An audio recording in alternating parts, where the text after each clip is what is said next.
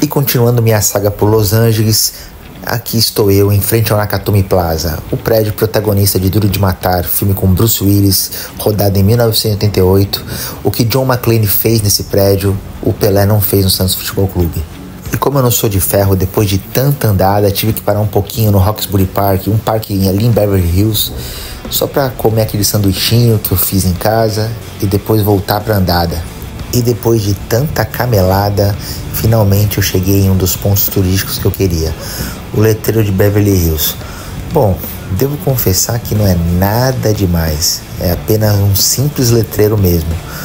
Mas como eu já estava ali, é claro que eu ia fazer minha fotinho, fazer meu vídeo, só que sozinho é diferente, né, pessoal? A gente tem que tirar a foto como pode, não dá para ficar pedindo para os outros tirar foto de você, entendeu? É aquele tira casaco, põe casaco, tira mochila, põe mochila, pega pau de selfie, desliga celular e a gente vai se virando como pode. No fim das contas deu tudo certo e eu já estava preparado para mais uma camelada para West Hollywood. E saindo do letreiro de Beverly Hills, eu continuei minha saga rumo a West Hollywood, onde eu queria conhecer a Passada da Fama, o teatro chinês, ver a placa de Hollywood. Eu achava que não ia ter outra oportunidade para ver isso na minha rápida viagem e acabei não tendo mesmo. Então, sorte que eu resisti, porque a andarilhada foi demais, viu? Foi bem caótico esse dia. Eu andei mais de sete horas seguidas. Quando eu falo, ninguém acredita. Até para mim que gosta de andar foi um pouco exagerado isso. E depois de tanto sofrimento, finalmente cheguei onde eu queria, que era a calçada da fama.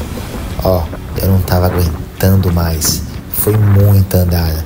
Foram pelo menos sete horas da onde eu tava até aonde eu queria chegar. E ó, foi legal, foi bom, mas eu tava tão cansado que eu nem procurei os nomes dos artistas que eu queria. Fiquei devendo várias gravações em, em, em calçadas que eu desejava fazer, mas eu não tinha nem mais culhão. Acabei fazendo pouco, acabei fazendo bem menos do que eu queria, mas mesmo assim valeu a pena, não me arrependo. Andei demais, foi muito divertido, não tenho do que reclamar, entendeu? Acabei conhecendo pessoas na rua, conhecendo pessoas em loja e eu faria tudo de novo sim. Andar é sempre bom, andar viajando é melhor ainda. E para finalizar a minha aventura nesse dia tão cansativo, mas tão divertido, aqui estou eu na Amoeba Music, um verdadeiro parque de diversões para quem curte música, a Disney World para quem curte som. Gente, tinha de tudo, viu? Camisa, disco, CD, fita, souvenir, uma loucura. Mas como eu estava muito cansado, só me restou curtir o ambiente.